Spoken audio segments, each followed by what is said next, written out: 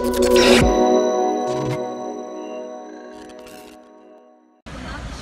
maruz kalarak öldürülmüş yer çocuğumuzun buluşmasındaydık.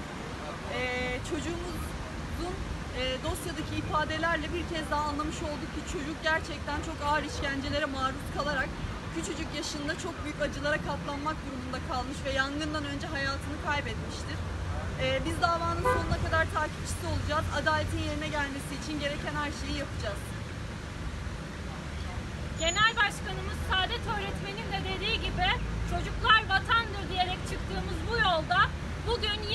Bir çocuğumuzun katledilerek öldürüldüğü duruşmasında yer aldık. Duruşmamız 16 Eylül saat 14.30'a ertelendi. Bu, bugünkü duruşmada kardeşi dinlenildi ve kardeşinin de ifadelerinden anlaşıldığı üzere çocuğumuza işkence edilerek çocuğumuzun hayatına son verilmiştir. Çocuklar vatandır, vatanına sahip çık. Çocuklar vatandır,